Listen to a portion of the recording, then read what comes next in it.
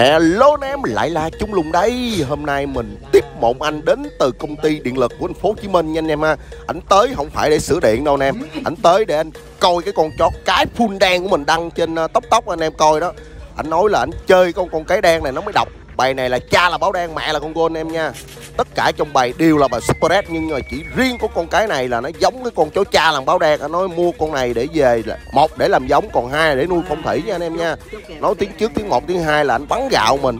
Anh theo dõi uh, thứ nhất là tóc của mình Thứ hai là về vấn đề bên YouTube ha. Ảnh coi mình theo dõi rất là lâu rồi.